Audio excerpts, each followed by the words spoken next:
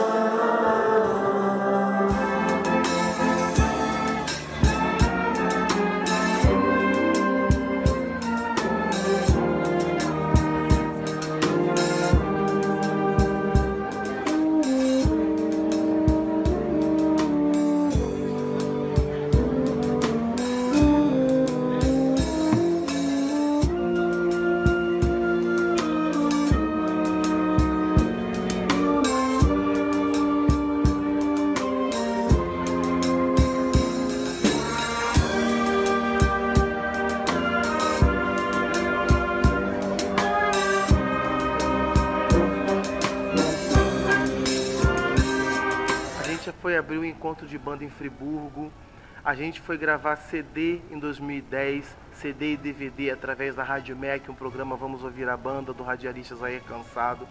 A gente foi fazer a abertura no Forte Copacabana, o encontro de bandas que aconteceu no Forte Copacabana, o encontro de bandas em Minas Gerais. A banda passa desde as festas de Quermesse, em Barra do Piraí, festa de Santo Antônio, padroeiro do, do Oficinas Velha, do Bar Santo Antônio, as festinhas de Quermesse, concertos didáticos, 10 de março, 7 de setembro, e eventos que acontecem na rua, a banda consegue construir a participação eu não consigo colocar o que, que seria o evento mais importante, porque todos dão frio na barriga e todos são importantes. Desde a, da tocar na praça até os grandes concertos da Santana, os concertos na praça, isso é muito especial. Na minha cabeça todos são maravilhosos, todos, todos são. Então, falando em eventos, né, como que anda a agenda da banda? Então, hoje a gente está voltado para o evento do centenário o concerto do dia 14, onde eu estou recebendo os músicos antigos, com os colegas que estão presentes estudando. A, a nossa agenda está voltada agora para o dia 14, tá? Para poder fazer um material legal para poder apresentar para a cidade. Mas a banda sempre vem fazendo concertos didáticos. Então, a gente toca na Praça da Peçanha, na Igreja Santana, na Igreja São Benedito, não voltado para a religião ou religiosidade, mas a igreja nos abraça, a igreja nos dá o teto, o microfone, o ar-condicionado, o ventilador, a água, toda a importância que um teatro, um espaço maravilhoso teria, e a igreja é o nosso espaço maravilhoso, uma casa que nos recepciona bem. Então, os eventos da banda acontecem, eventos cívicos, 10 de março, 7 de setembro, e os eventos que vão acontecendo uma vez por mês. A nossa ideia é colocar a banda na rua uma vez por mês. E outros eventos de encontros de banda, cidades vizinhas que tem alguma festa nos convidam, a banda vai tocar. É, você tocou no encontro de bandas, né? Inclusive a gente teve presente lá. E eu fiquei muito decepcionado, até por conta da divulgação, né, que, que não foi feita. É, não sei se não foi feita ou se o povo realmente não, não chama atenção, né, não se alimenta da cultura, mas enfim, fiquei muito decepcionado quando cheguei lá e eu vi, sei lá, uma dúzia de pessoas e tava eu Terp, tinha a banda de Pinheiral, a União dos Artistas estava lá. Vocês, eu, eu não participaram. Está voltada agora para este mês. Mas o que acontece? Todas as bandas passaram na pandemia, igual outros grupos também envolvidos com cultura e a parte artística, é, tiveram dificuldades, né? E para uma banda poder sair, eu para poder colocar a Moreira Lopes na rua, eu gasto 200 reais. Porque eu tenho que ver o lanche das pessoas, eu tenho que ver a condução que vai levar os instrumentos, tuba, bateria, o que é grande, as cadeiras, estantes. E para trazer uma banda de Miguel Pereira, de Vassouras, de Valença para cá, tem o gasto. Então tem o ônibus, tem a manutenção, tem a organização, a agenda dos músicos que vão tocar. O evento foi maravilhoso, o encontro de bandas, né? Eu pude assistir a Rosalense, que é uma co-irmã, pude assistir a União dos Artistas também, que é co-irmã, fiquei maravilhado. O concerto foi maravilhoso. Mas é muito difícil colocar a banda na rua. Se não tiver um auxílio, um, um subsídio da educação, o apoio da cultura e da educação, a banda de música vai conseguir sobreviver com as dificuldades. Vai demorar para poder acontecer, mas vai acontecer. Então, em defesa disto, das pessoas não terem chegado, né, 200 pessoas para poder assistir a banda, eu entro em defesa para poder dizer que as pessoas de Barra do Piraí gostam de banda. Eu não sei como foi o acesso à divulgação pelas mídias, né, porque a co-irmã estava fazendo a divulgação, a aceitação das pessoas, eu não sei como que foi, e a resposta das outras bandas, eu penso que seja pela dificuldade, sabe? É, igualmente, a nossa banda teve dificuldade de físico, de pessoas para poder colocar a banda para poder tocar, as outras bandas também estão passando por isso. Então, se a banda tinha 25 figurantes e hoje tem 8, o maestro não quer colocar 8. Eu não ligo, eu vou com 5. Mas tem maestros que não gostam e isso dificulta um pouco também, tá? É, então tá aí, olha, a dificuldade que as bandas passam, né? Que toda banda passa, projetos culturais diversos, né? A gente vê luta, futebol, também passam por essa, essas dificuldades, né? Então a gente deixou aí claro as dificuldades.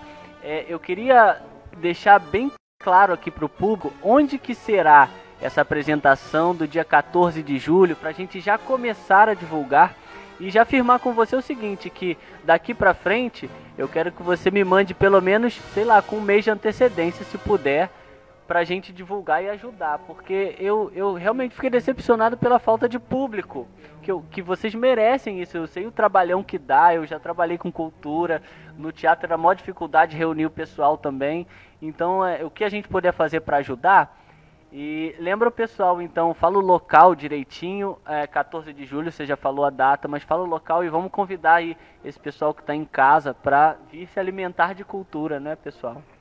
Então, é, dia 14 vai acontecer às 19 horas na Praça Nilo Peçanha, tá?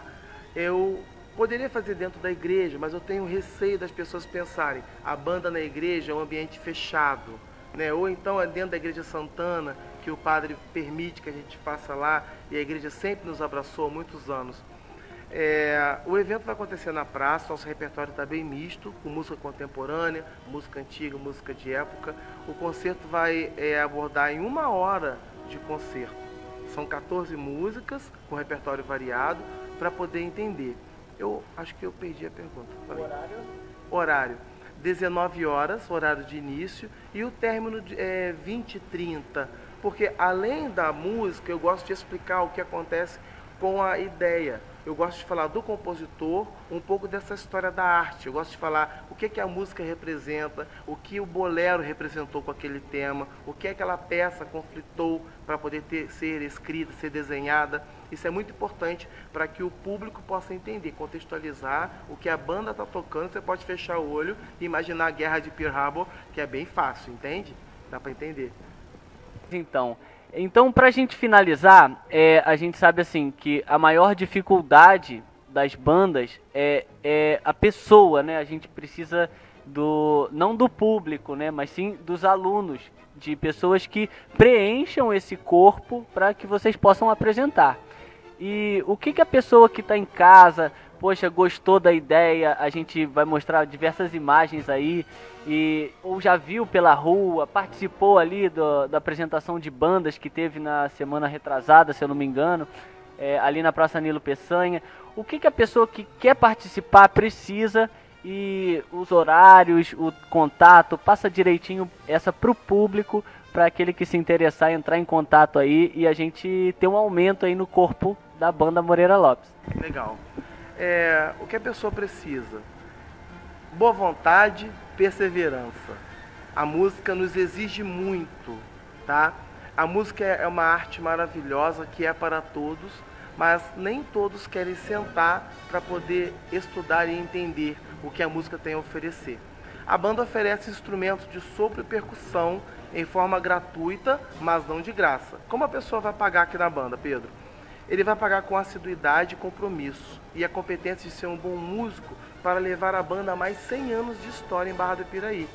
A gente tem aulas de clarinete, saxofone, flauta transversal, trombone, eufônio, sousafone e percussão. Nessa área, a banda oferece a aula gratuita e o aluno paga estando presente fazendo a banda acontecer. O que, que precisa para poder fazer? RG, CPF, comprovante de residência e uma foto 3x4.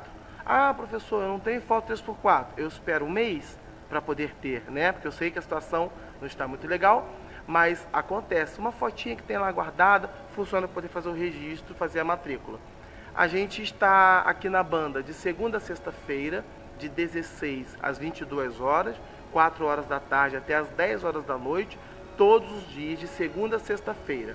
O meu WhatsApp vou deixar com o Pedro, vocês podem entrar em contato para poder fazer a matrícula pelo WhatsApp ou marcar um horário. Olha, Rafael, eu não posso ir terça-feira 5 horas, mas eu posso ir quinta-feira 6 horas. Eu vou aguardar vocês aqui com muito carinho para a gente poder manter a banda e que não seja eu, que seja o filho de vocês para poder ser o próximo maestro da banda e manter a banda viva por mais 300 anos que a gente precisa, né? E aí para lá.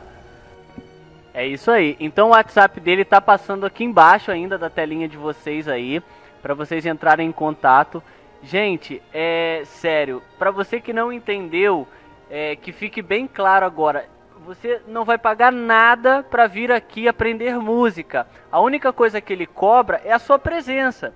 É, que você participe do corpo da banda.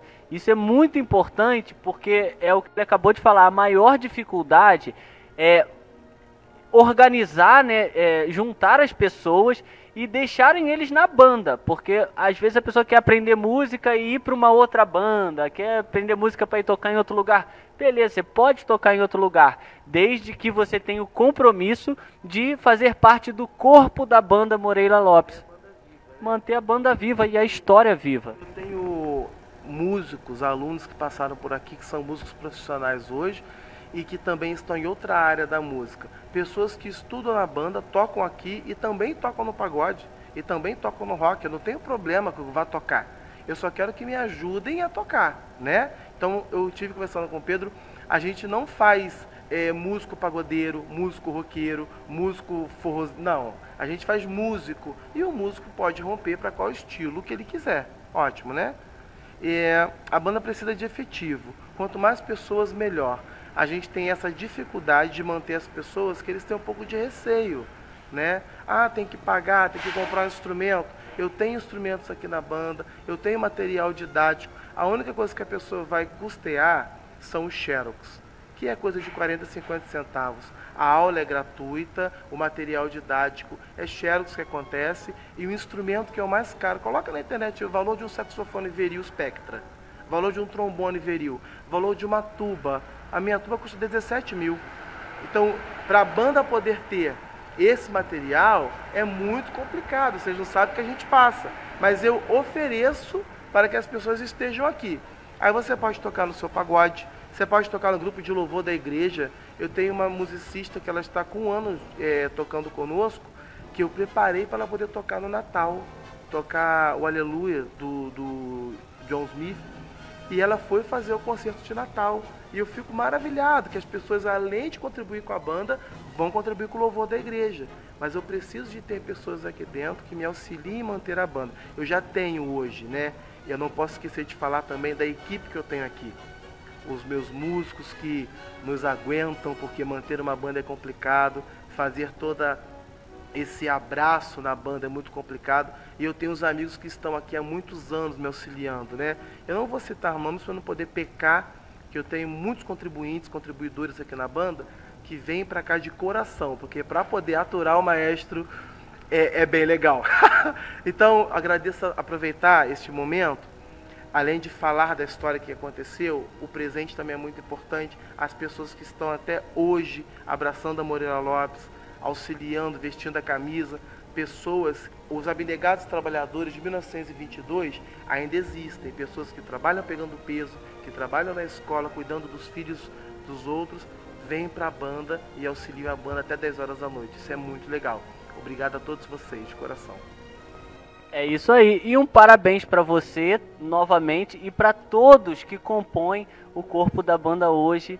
Moreira Lopes, gente, centenária, mais uma centenária de Barra do Piraí. Só mais uma observação, não sei se vai ter tempo. A banda Moreira Lopes hoje entrou para o hall das centenárias, que a gente tem a banda Euterpe Comercial, né, com 122 anos, a banda União dos Artistas com 121 anos, e agora a Moreira, que é a caçulinha com 100 anos. E é uma das poucas três cidades do Brasil que tem três bandas que são centenárias, que tem sede própria. Olha como é que isso é muito pouco no Brasil. Agora você imagina isso na América do Sul. Quantos países e cidades têm três bandas centenárias com uma posição dessa? Então é muito importante fomentar a ideia da culturalização, da cultura musical que todo mundo entenda. Vamos tocar, vamos fazer o bem. A música responde o que a gente tem por dentro. Então, se você está chateado, a música vai te abrandar, vai te afagar. Se você está feliz, a sua música vai soar muito mais feliz que. Então, vamos aproveitar esse momento. Aproveitar que Barra do Piraí tem banda centenária, tem uma história maravilhosa. A, a banda chegou junto com a parte férrea de Barra do Piraí. Então, desde a época da expansão ferroviária, que veio Barra do Piraí, o maior entroncamento férreo da América Latina, quem construiu lá atrás já tocava. As pessoas que vieram de fora dos outros países para poder construir tudo que tem em Barra do Piraí, a ponte de ferro, já eram músicos e trouxeram esse legado para que a gente pudesse propagar. E estamos aqui. Quem sabe o filho de quem está assistindo agora não seja o próximo maestro que venha ser o próximo músico da banda. Vai contribuir bastante. Isso aí. Então a gente conta com você para trazer o seu filho ou venha com seu filho e faça parte os dois da banda Moreira Lopes. Ele já deixou todos os detalhes aí. A gente parabeniza esse trabalho incrível e a gente vai mostrar aí algumas imagens de marcos de fotos e vídeos que ele deixou aí com a gente. Muito obrigado e até a próxima.